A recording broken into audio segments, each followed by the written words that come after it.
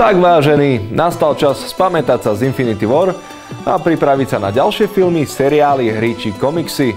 Nové premiéry nás neobídu ani počas nasledujúcich dvoch týždňov, takže opäť budeme mať čo robiť. 10. mája si budeme môcť pozrieť stop motion príbeh Psí ostrov. Prekvapivo bude o psoch žijúcich na ostrove. Ten slúži ako smetisko a priletí na ňo malý chlapec hľadajúci svojho strateného psa. V ten istý deň do našich kín dorazí aj 5. pokračovanie kultovej francúzskej komediálnej série Taxi. Dvoch pôvodných hlavných hrdinov v ňom však neuvidíme. 17. maj nás rovnako obohatí o dve snímky. Ukradnutá princezná Toť animák o zachraňovaní princeznej. Rozprávku majú na svedomí naši východní susedia. Áno, správne, Ukrajina. Ale kinosály dostanú zabrať najmä kvôli milému a vtipnému Deadpoolovi, ktorý nás poteší druhým pokračovaním svojich netradičných dobrodružstiev. 18. mája na Netflix prinesie film Cargo. Martin Freeman bude musieť počas šíriacej sa zombie epidémie dostať svoju malú cérku do bezpečia. Posledným filmom je 450 stupňov Fahrenheita z produkcie HBO, ktorý bude sledovať príbeh mladého hasiča, žijúceho v nie veľmi sympatickej budúcnosti. Netflix už tradične ponúka aj nový seriál. 10. mája nám prinesie prvú epizódu Safe o otcovi, ktorého hrá Dexter, hľadajúceho svoju nezvestnú dceru.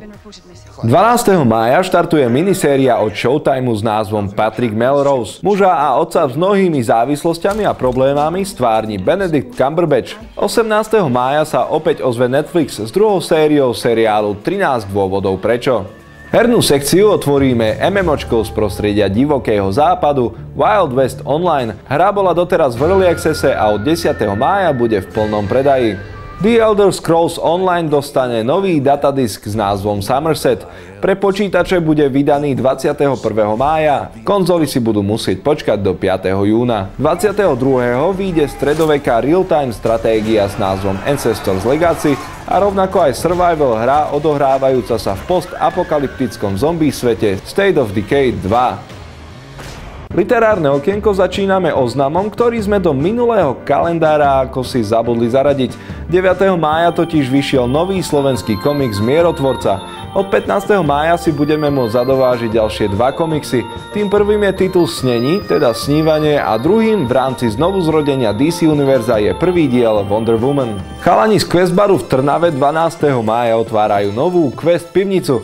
Ak to máte po ruke, neváhajte sa tam zastaviť. Robia výborné miešané drinky a milkshakey. To je odo mňa všetko. Držte sa, za ruky, za nohy, mne je to jedno a nezabudnite sledovať náš kanál.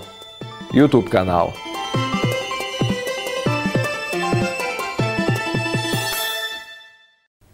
...12. mája štartuje mini